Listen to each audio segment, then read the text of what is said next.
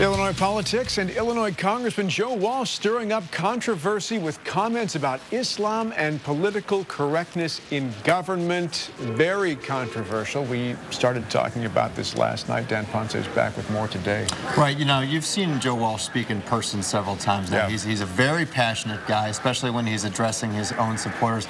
And there seems to be this theme uh-huh. where he's addressing his supporters in a town hall setting and he says something that stirs up a lot of controversy. Well, this time he's accused the government of being too politically correct when it comes to Islam. His comments offended many in Chicago's Muslim community. CAIR Chicago, Council on American Islamic Relations, held a news conference today specifically to address those comments.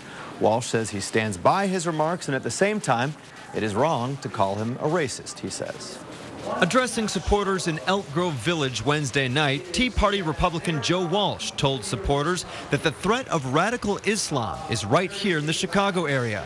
He also blamed the government for the Fort Hood massacre. Your government was so afraid of doing its job, so afraid of offending Islam, that right in front of our noses, we saw what was happening in Fort Hood, and because your government was politically correct, Americans died. His comments sparked outrage among many Chicago area religious leaders who held a news conference this morning at CAIR Chicago headquarters to address the controversy.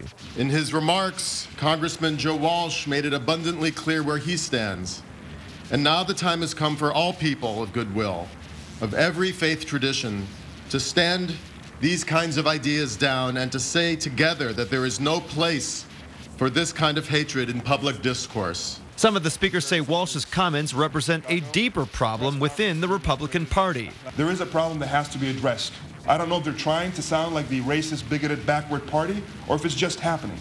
But the leadership needs to step up and live up to the legacy of the great GOP of the past and know that America cannot move forward with hate and divisiveness, but with hope and inspiration. It's not an accident that you see such a diverse group of people standing here. We are all alarmed at what the GOP is doing to the social fabric of this country. Congressman Walsh says he stands by his controversial remarks. Look, we don't have time to be politically sensitive here. There are people around the world and in this country trying to kill Americans. That's a real threat. The administration knows it and Congress knows it.